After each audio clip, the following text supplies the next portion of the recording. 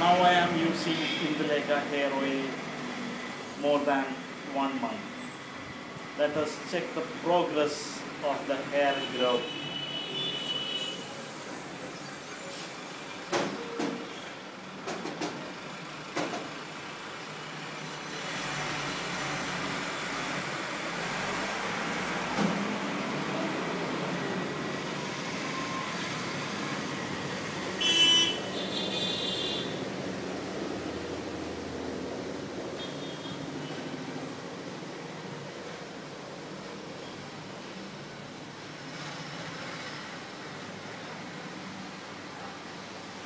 How is it?